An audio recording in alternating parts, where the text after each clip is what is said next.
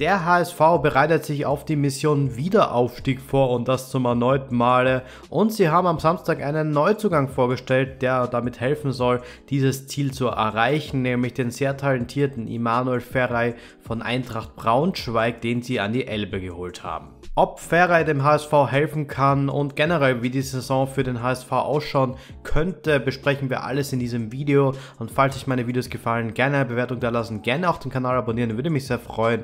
Und schreibt mal gleich eure erste Meinung, Einschätzung, Emotion zu Ferrei in die Kommentare rein. Aber zurück zum Start. Der HSV hat am Samstag bekannt gegeben, dass sie Emanuel Ferrei vom Ligakonkurrenten Eintracht Braunschweig offiziell verpflichtet haben. Da gab es schon ordentlich Gerüchte die Tage davor, dass er eben kommen soll und nun wurde es offiziell bestätigt. Der 22-jährige Holländer unterschreibt einen Vertrag bis 2027 und soll laut dem Hamburger Abendblatt für eine Ablöse von 750.000 Euro gekommen sein.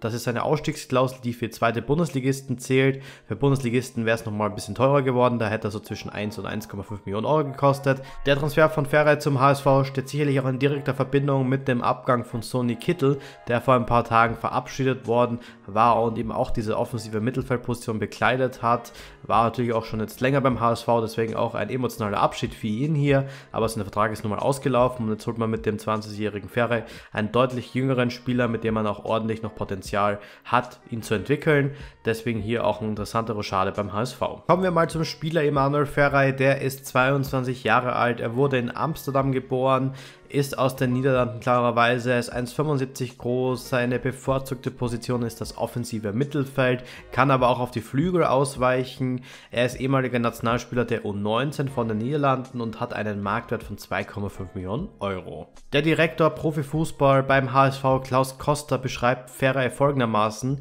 Emanuel ist ein echter Straßenfußballer, der offensiv sehr mutig und zielstrebig agiert. Das beschreibt den Niederländer meiner Meinung nach perfekt, denn er ist eben dieser technisch versierte offensive Mittelfeldspieler, der vor allem auch ein bisschen zaubern kann auf dem Platz und dementsprechend auch immer wieder für äh, tolle Momente sorgen kann. Bei Eintracht Braunschweig war der zweitbeste Torjäger und der zweitbeste Vorlagengeber nach Bundesliga-Legende Anthony Ucha. Bei Vorlagen war sogar, hat er sogar gleich viele gehabt wie Ucha mit 5 und 9 Tore erzielt in seiner Zeit bei Braunschweig und war maßgeblich daran beteiligt, dass die Eintracht in der zweiten Bundesliga geblieben ist. Ferrei kommt aus der Alkmaar Jugend und wechselt dann zum BVB in die Jugend, wo er sich aber nie wirklich in den Profikader nach vorne kämpfen konnte.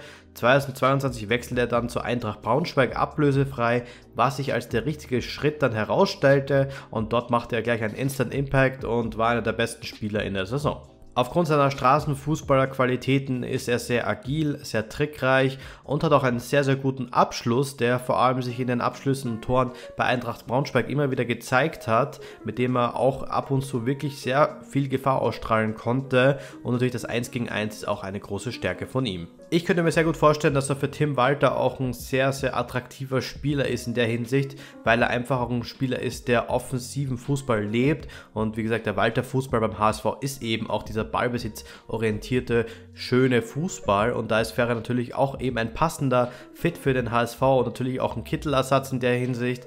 Deswegen kann ich mir gut vorstellen, dass Walter und Ferrer gut zusammenarbeiten könnten. Grundsätzlich ein sehr, sehr guter Deal für den HSV. Man bekommt einen der besten offensiven Mittelfeldspieler der vergangenen Zweitligasaison, der vor allem auch sehr, sehr gute Statistiken aufgelegt hat und auch jemanden, der halt Sonny Kittel auch langfristig ersetzen kann. Aus der mit 22 Jahren ein Spieler, der äh, natürlich noch ordentlich Wachstumspotenzial hat. Er kommt aus der Dortmund-Jugend, aus der Alkmaar-Jugend, hat die nötigen Anlagen. Also jemand, der beim HSV wirklich eine wichtige Rolle einnehmen kann. Trotzdem muss man mal die Pferde im Stall lassen. Ferre hat nur unter Anführungszeichen bei Eintracht Braunschweig gespielt, kommt zwar aus der Dortmund-Jugend, aus der Alkmaar-Jugend, hat aber noch natürlich nicht diesen Profifußball in der Bundesliga gespielt und auch jetzt eher mehr im Abstiegskampf in der zweiten Bundesliga aber er hat das Potenzial, um ein sehr, sehr guter Bundesligaspieler zu werden. Ich denke, darauf baut der HSV auch. Trotzdem ist die Konkurrenz die sehr, sehr groß in der zweiten Bundesliga mit Schalke, mit Hertha und da muss sich der HSV wirklich durchsetzen und wirklich schauen, dass sie es endlich mal schaffen, denn letzte Saison war meiner Meinung nach die Chance auf jeden Fall sehr groß und diese Saison wird es auf jeden Fall nicht einfacher. Trotzdem ein sehr guter Deal. Ich bin sehr überzeugt von diesem Spieler. Was sagt ihr zu Ferrei beim HSV? Gerne zu mal eure Meinung in die Kommentare schreiben. Ich diskutiere immer gerne mit und gerne ein Abo da lassen, gerne auch ein Video bewerten, würde mich sehr freuen. Und ich wünsche euch noch einen sportlichen Tag. Bis zum nächsten Video. Haut rein und ciao.